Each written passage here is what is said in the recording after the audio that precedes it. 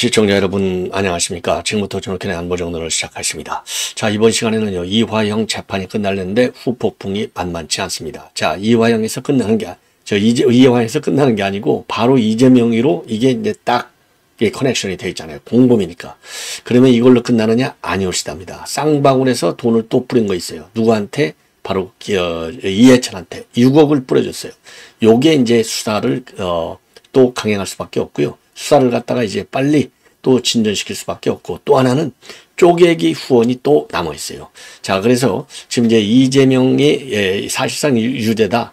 요거는 뭐 이화영이 변호인들도 그렇게 다 얘기를 한 거 아니겠어요? 자, 그래서 요게 일파만파로 커지고 있고요. 검찰에서는 지금 입장문이 나왔는데 지금 바로 상고 항소하겠다.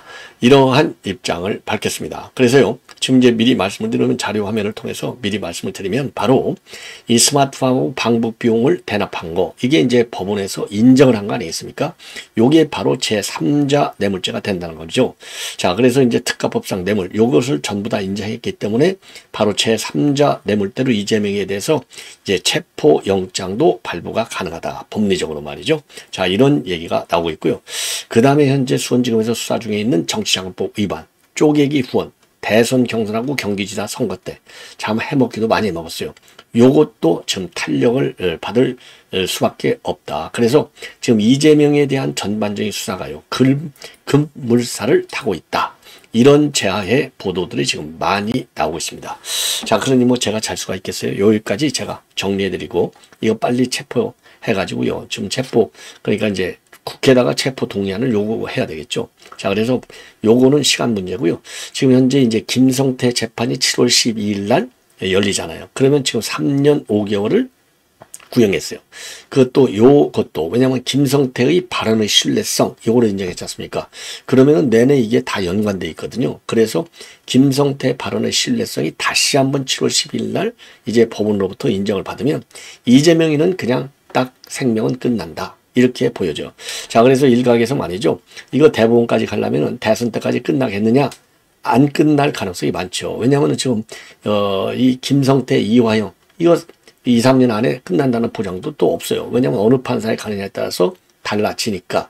그리고 또 이재명이가 교묘하게 재판 지연 전략을 쓰지 않습니까?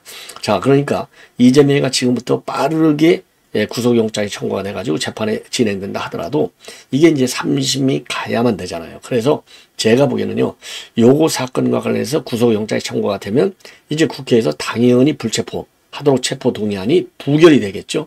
자, 그러면은요, 1심 판결을 갖다가 빠르게 진행시켜서 법정 구속을 해야 된다. 그러면 그럼 뭐 옥중 출마라는 얘기입니까?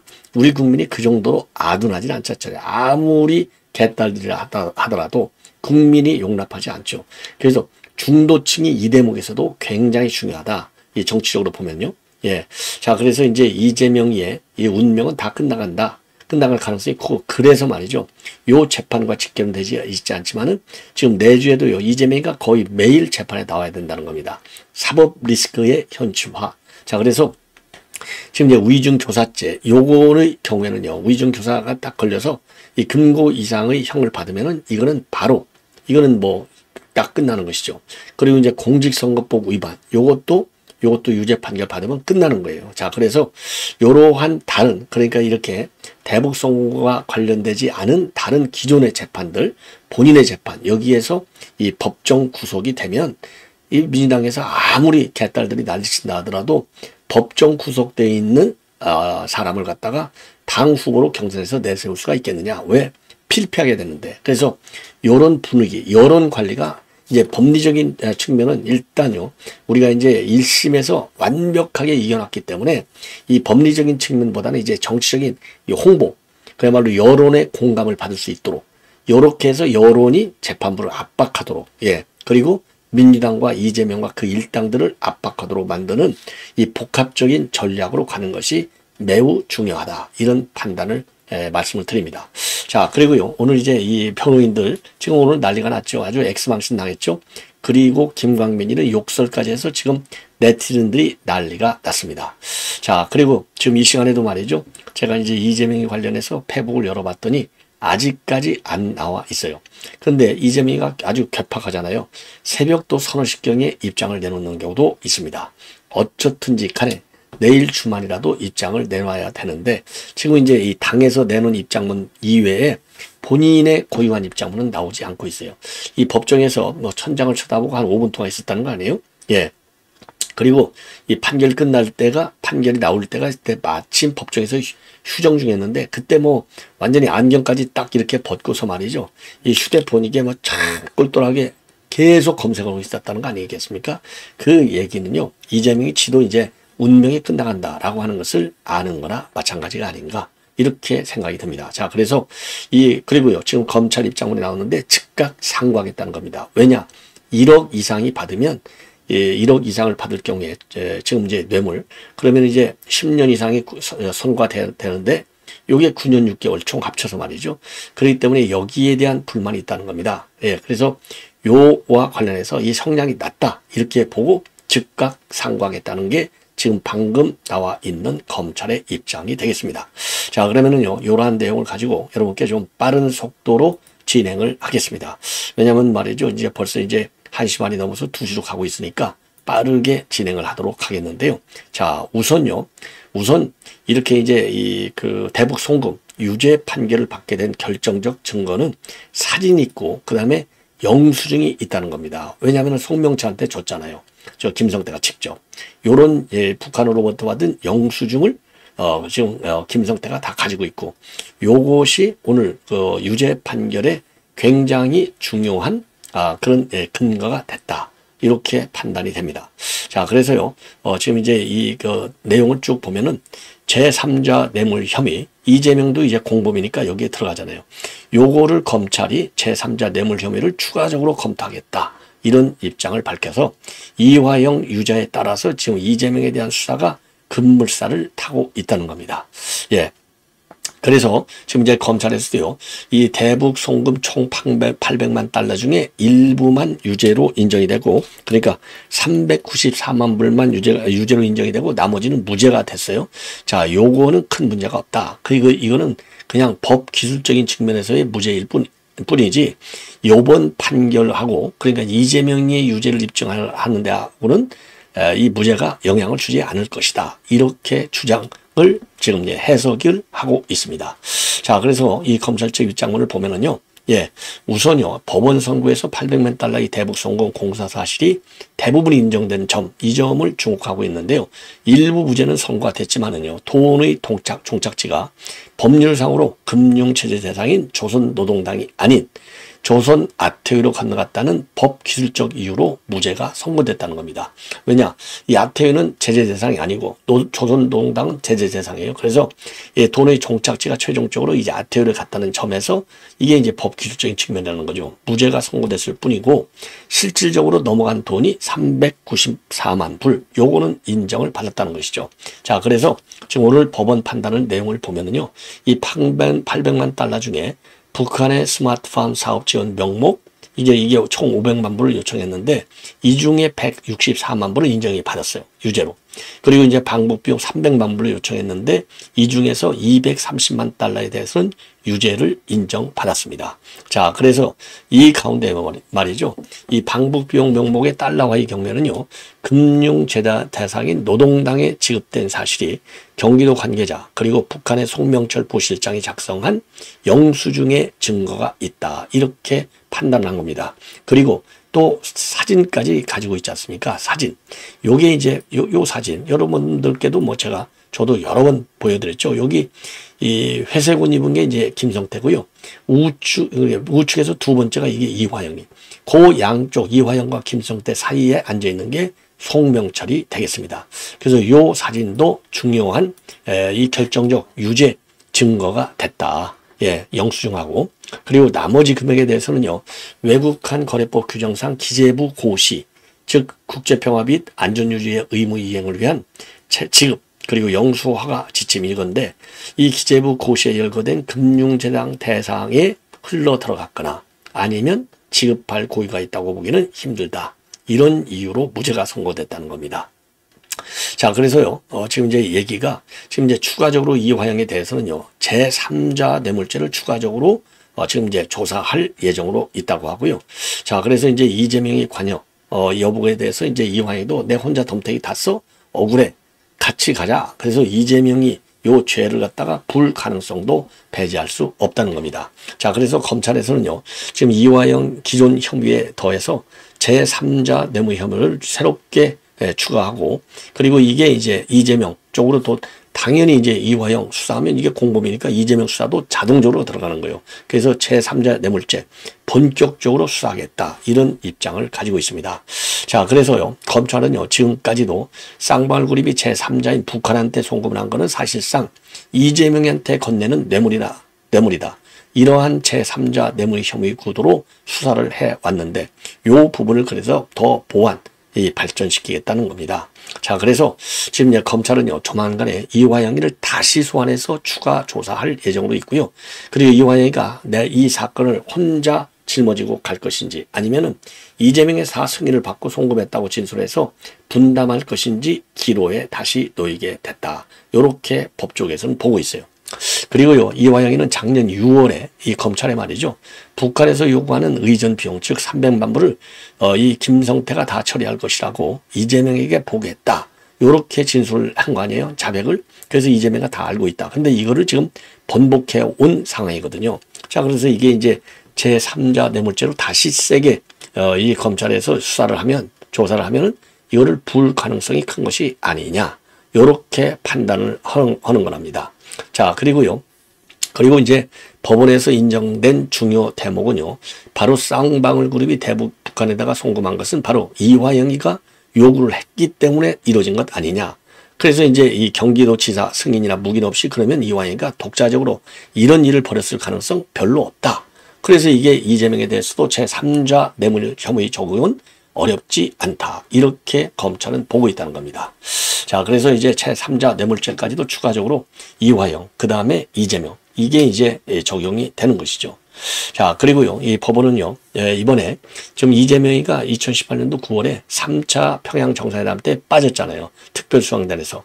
이게 빠지게 되니까 이제 열분이 나니까 이화영이가 어, 지금 이재명의 방북 상당한 압박을 받고 있었고 그래서 이제 김성태를 통해서 방북 문제를 해결하려고 하면서 북한에서 요구한 비용을 김성태한테 대납하게 한 사실. 그러니까 이제 방북비를 갖다 대납한 거죠. 요것이 확인이 됐다. 이렇게 이제 재판부가 인정을 했어요. 요거를. 그리고 이제 쌍방울이 이 대북 사업을 추진하게 된 배경도 이재명이 하고 이화영의 전폭적 지원 때문에 가능을 했다. 그런 또 기대를 했다.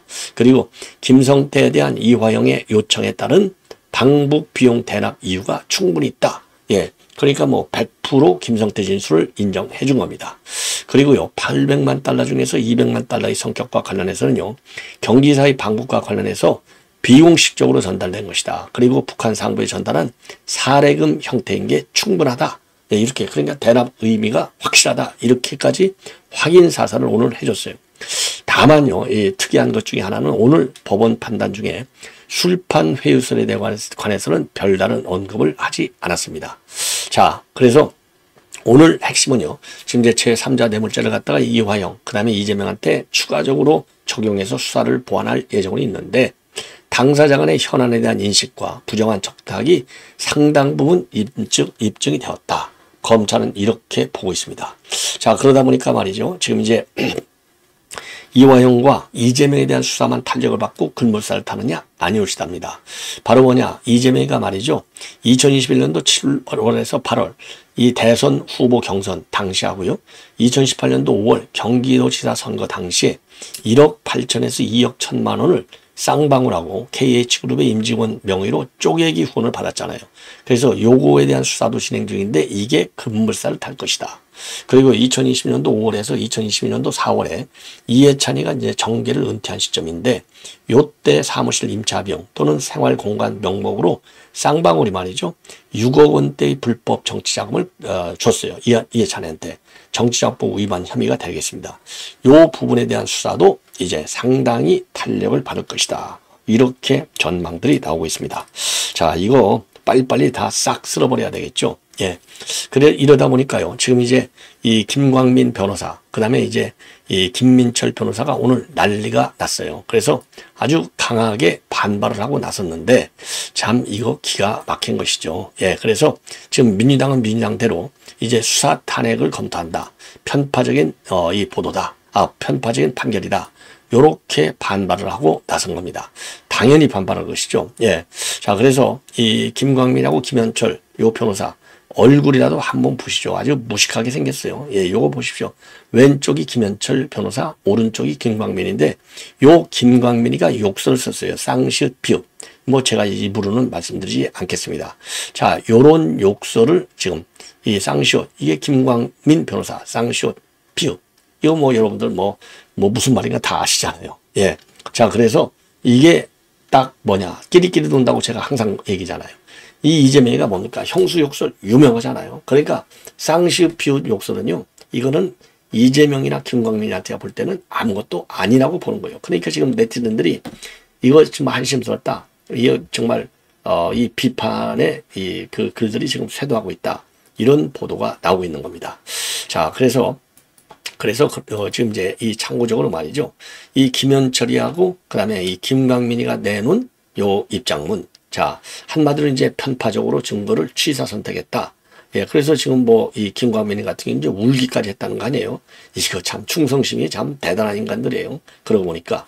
자, 그래서 김현철의 경우에는요, 재판부가 이화영 때문에 쌍방울이 대북 사업을 하게 됐고, 이화영이가 쌍방울 대북 사업에 영향력을 미쳤다고 판단했는데, 요거 굉장히 잘못된 것이다. 그러면서요, 쌍방울 계열사 나노스는 2018년도 4월에 남북 정상회담으로 주가가 폭등한 경험이 있기 때문에 대북 사업을 하겠다는 의도로 이 사건이 시작된 것이다. 그러니까 이화영과 관계없이 주가 조작 하려고 주가가 뛰는 걸 보고 좋아가지고 쌍방울이 대북 사업에 끼어드는 거라는 거예요. 그러니까 이제 이화영 또는 경기도하고는 전혀 관계없는 독자적 대북 사업 구상이었다. 그래야 이제 어, 김성태 이 발언이 전부 뇌물 뭐 제3자 뇌물 뭐 이런 게 하나도 작동이 안 되잖아요. 요렇게 해서 지금 자르고 있고요.